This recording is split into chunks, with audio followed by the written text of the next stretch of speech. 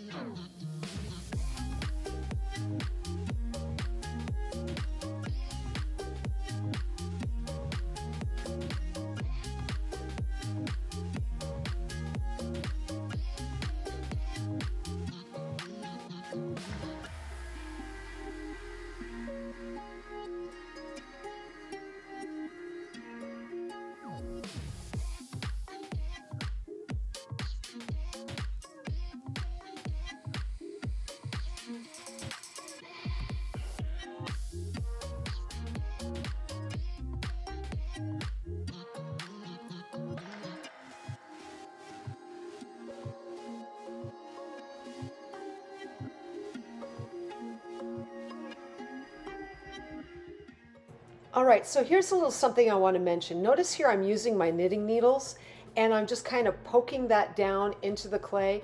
I do that for a couple of reasons. One, this way then the ball that's sitting on top of that heart will kind of naturally adhere to the surface a little bit more so I don't have to go back in with super glue and that's kind of nice.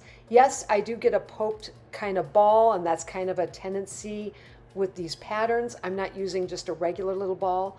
And so when you do have little balls in the polymer clay on these pictures, yeah, you're going to have to go probably in unless you pat it down just a little bit to make sure that it really sticks to the clay that it's adhered to.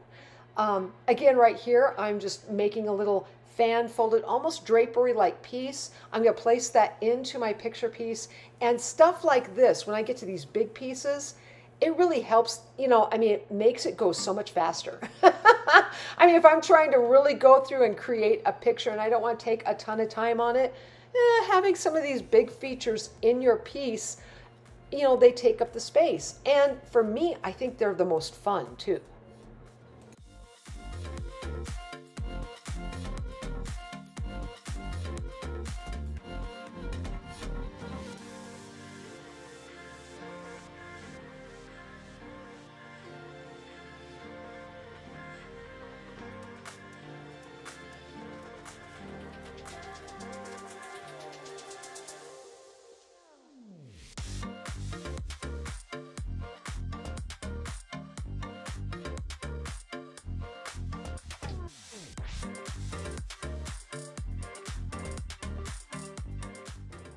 So right here, just like I said, I'm bringing in that circle Kemper cutter and I'm just gonna cut a bunch of different pieces. We'll lift some of these off and the tinfoil forms that I cover, this is where those cutters really come in handy because you could just place them right over the tinfoil form and create all sorts of different designs.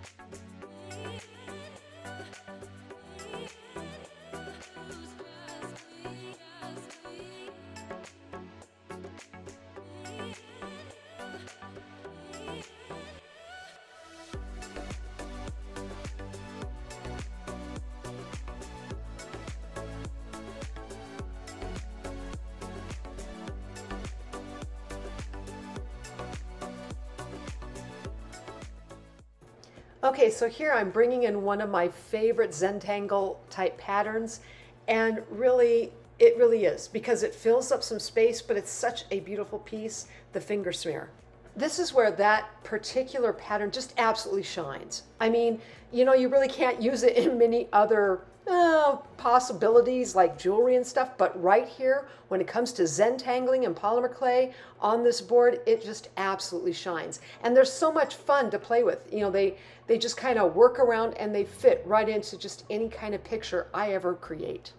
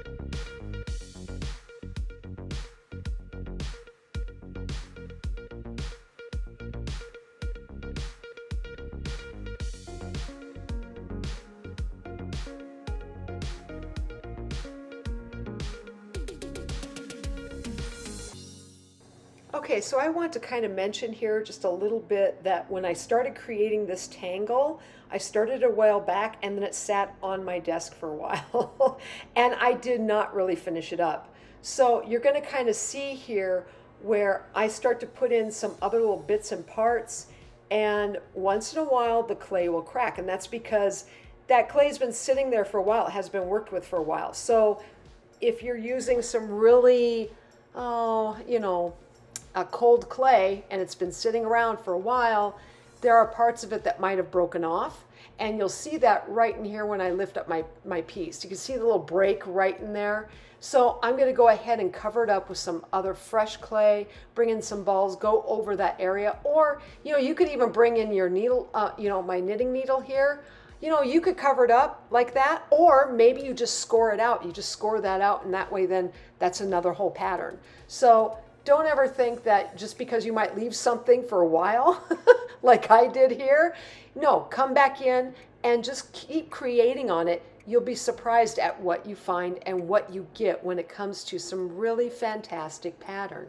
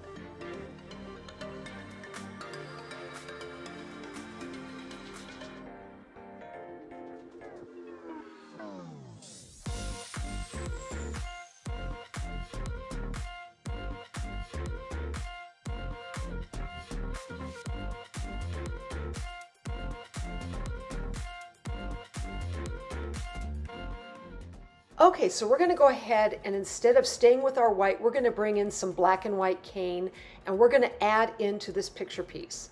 I have been wanting to use this cane for a little while now and I thought, you know, it's time. Let's use some of this up, put it into a picture and see what we can do with it. And if you're wondering how to create this particular cane, go check out the Demi video, so the Demi cane video. That's how I went ahead and created this particular cane. Now you'll notice here, I'm kind of lining these up and I'm putting them side by side. And I really thought, okay, let's go ahead and do that and then line them up uh, as part of my background piece. So I'm placing it right over that background. And I was going to do that, and the more I looked at it, I was like, eh, no. And the reason why was I was going to make it, how, how do I put this? The pieces, like the middle piece, um, didn't have the entire pattern there. I cut my pieces way too thin. So since I did that, I was going to, I thought, well, let's go ahead and overlap them. And if we put them on point, this way then there might be a little bit more interest when you go to look at it.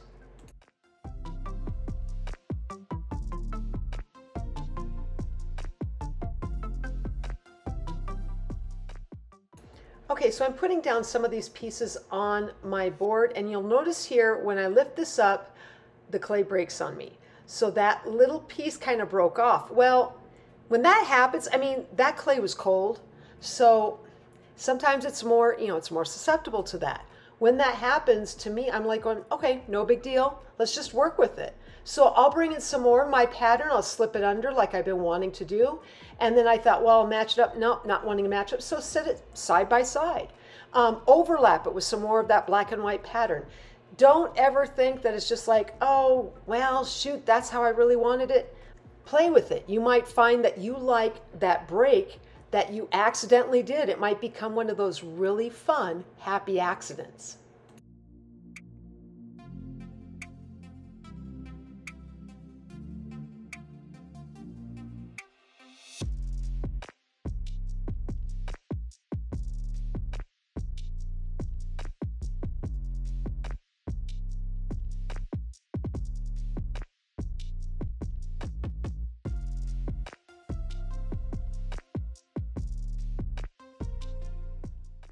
Okay, so here you could tell we filled in a little bit more with some of that demi cane and then we also added in a few other little finger smears.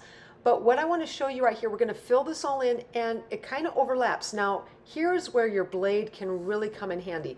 You could leave it like this, but to me it's too far on the one side. So I'm going to take my blade and I'm going to cut off right where that little hump is area on the background piece. And I'm just going to cut it to form. So I'm going to get my nice corner. And it's really nice to be able to do this sort of thing because when I do it, I can define my corner and still have pieces coming off of it. And you get a sense of like, okay, part of this picture is conforming to that background while I have pieces coming off. Uh, it's just a nice way to design and style.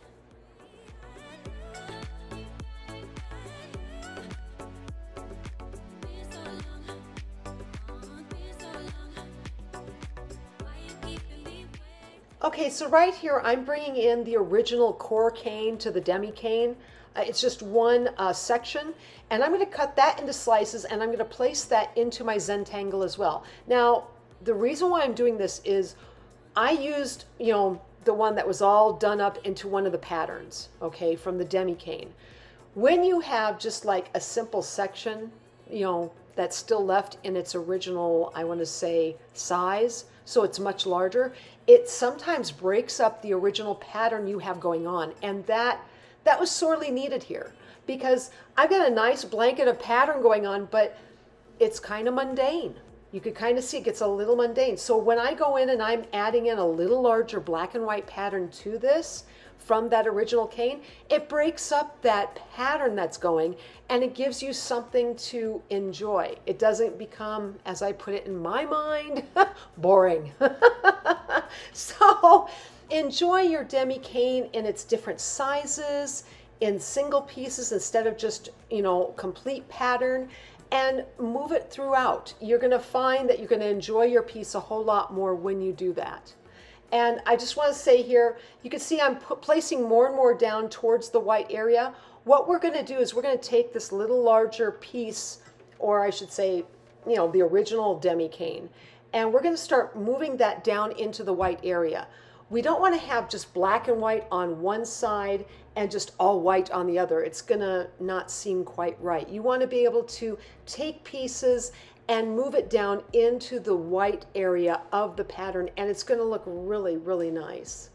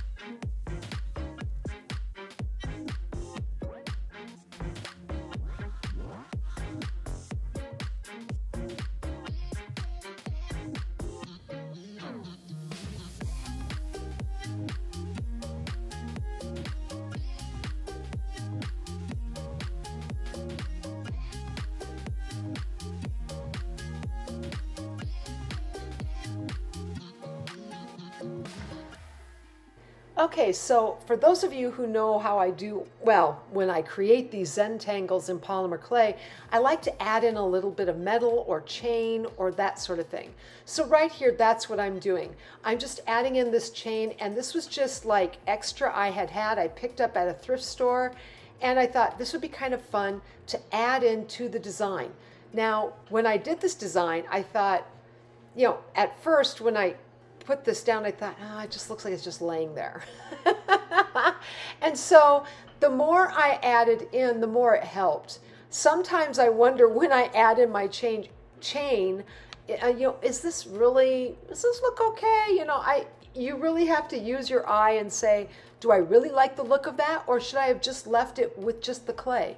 And if you do leave it when you create these tangles with just clay, that's just fine. You know, in fact, it might might have looked better if I would have just left it plain, doing my black and white into my white and just going with the clay alone.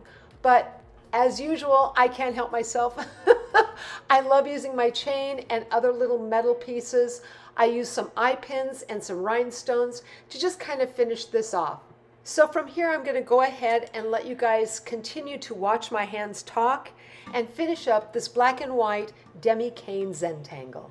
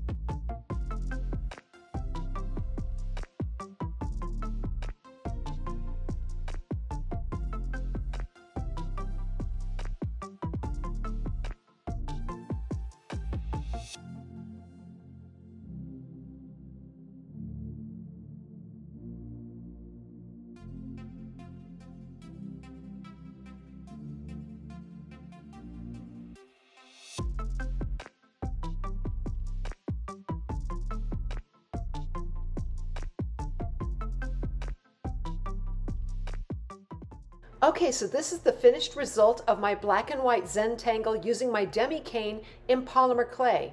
I hope you'll use this for study and reference. And if you like this video, please like, subscribe, and leave me a comment. I'm always wondering what you're thinking. Otherwise, I am sending out my biggest hugs to each of you, and I hope you have a fantastic day.